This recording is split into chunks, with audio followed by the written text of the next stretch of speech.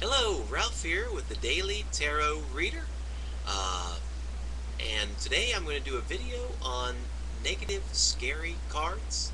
And I'm just going to do one card in this video, kind of keep it short to the point. Uh, sometimes when people are doing tarot readings, or maybe you're a beginner kind of playing around with tarot for the first time, there are some cards that can come up that can be negative, that can be very scary, and of course, probably the number one negative card that can really freak people out is this. Death. Uh, get a, kind of a good look at that. There we go. That's kind of coming up good in the picture. The Death card. And I remember when I was doing a uh, tarot spread, one of my very first ones in high school, and the Death card came up. The Death card came up in the future uh, of a 10 card spread, the Celtic Cross spread. And of course, everybody freaked out, myself included, because all the training I had in tarot was from that little skinny booklet that comes in uh, the card deck that just gives you a few uh, definitions of the card. It doesn't give you a very deep understanding of the cards at all. Of course, a deep understanding of the cards comes from years of practice and experience with the cards. But at that time, my experience with the cards was very superficial the death card came up in the future outcome position, and of course everybody freaked. And of course I shuffled the cards or gathered up the cards and put them away, and uh, you know we, we didn't think much more of it. But the death card does not always mean a negative thing, and believe it or not, even when it comes up in the future outcome position, it does not necessarily mean a negative thing. The death card actually can be thought of in two different ways. It can be thought of in the terms of death. It can also be thought of in the terms of rebirth and regeneration. You can think of it as the born again card. You let something go, something has died, but something is being reborn. It's kind of like a tree. You know, a, a tree loses its leaves in, in the fall it uh, doesn't grow much at all in the winter. As a matter of fact, in the winter, a lot of trees that are still alive can appear to be dead. But that doesn't mean that the tree is actually gone. It doesn't mean it's dead. It's just awaiting rebirth. And a lot of times our life circumstances uh, can can be the same way. You know, you might lose your job and it may seem like a death. It may seem like the end of the world. But life may be freeing you up for something better.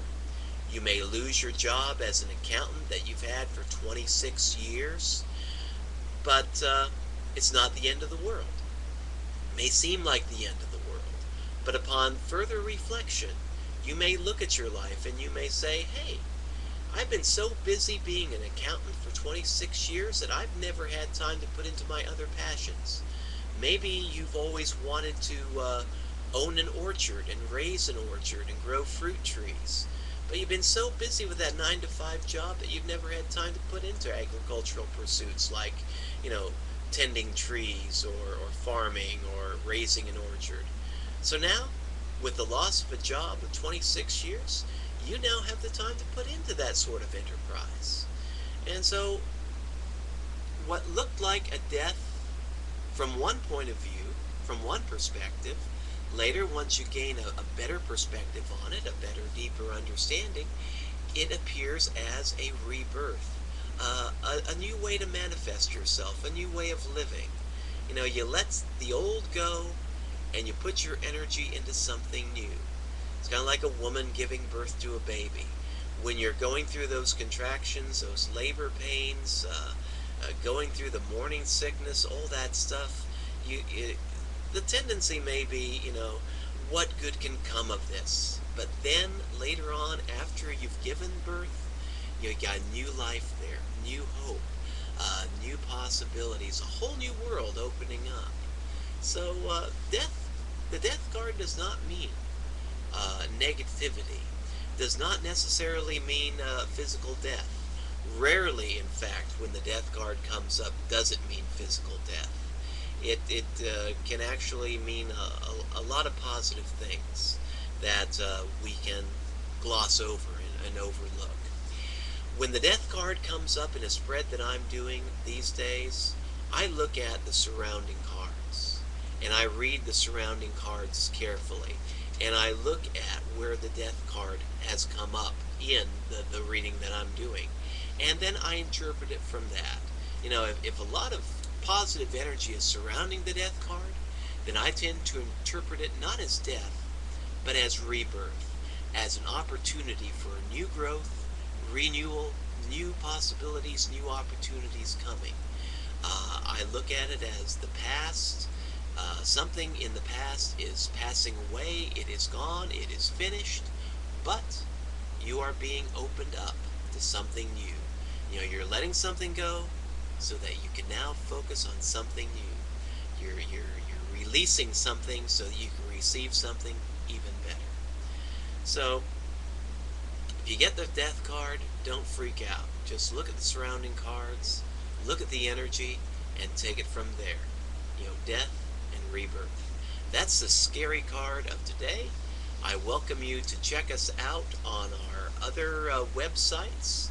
Uh, the Daily Tarot Reader is our web page. We offer our uh, counseling services there, offering tarot readings from 3 cards to 10 cards. You can also catch us on Facebook. You know, uh, Heidi's Tarot Readings on Facebook, and I will give that address also in the description page of this video. So until then, this is Ralph saying blessings, and I hope all your future tarot readings are good ones.